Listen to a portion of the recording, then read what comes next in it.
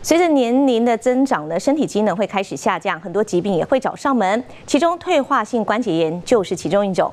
但很多长辈会以为哦，关节退化就不能够运动。不过呢，医师打破迷思哦，维持轻度运动习惯，像是快走啊，或是打太极，反而是能够有效的来缓解关节不适。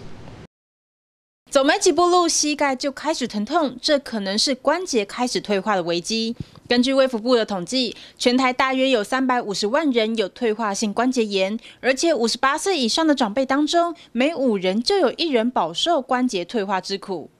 顾名思义，退化哈，所以大部分都发生在年纪比较大的长者身上哈。因为就像机器一样，使用久了之后，就会有退化的那个问题发生。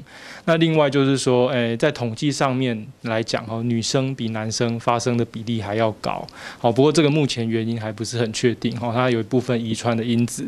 另外就是说，诶，如果体重比较重的哈，肥胖也是一个危险因子。这也跟生活形态有关，像是长期搬重物对膝盖造成负担。医师说，许多患者会以为罹患退化性关节炎就不能运动，但其实这是错误的观念。膝关节除了关节软骨之外，它还有旁边的韧带跟肌肉。好，那其实你不去动，肌肉越来越无力，那其实是让你的症状越来越严重。好，那我们如果有适度的运动。的话，那其实诶，让膝盖旁边的肌肉比较强壮，那其实就像是一个天然护膝一样。医师就分享了一个简单的训练动作，在家看电视坐着就能完成。把自己的腿抬起来，好，然后撑住，大概我们可以数到五秒钟，或是到十秒钟，你会感觉自己这边大腿的力量在出力，这是训练我们的股四头肌。